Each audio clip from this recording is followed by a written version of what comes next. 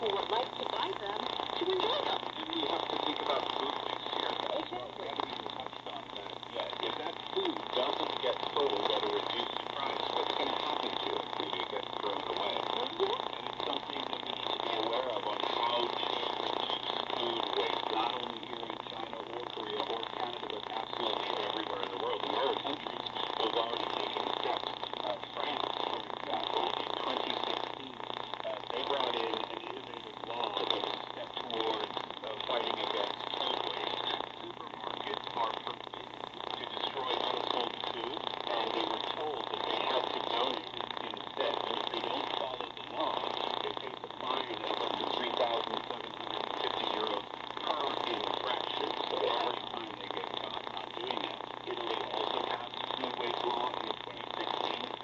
funding to reduce food waste is every step of the food supply chain. Like the French law, it focuses on the donation and distribution of food waste, but unlike the French law, it's not focused on punishment. There's no infraction or fine, but the Italian law, they encourage their businesses to donate or, or distribute uh, wasted food through tax rebates, so they give them a bit of a tax relief uh, for their donation.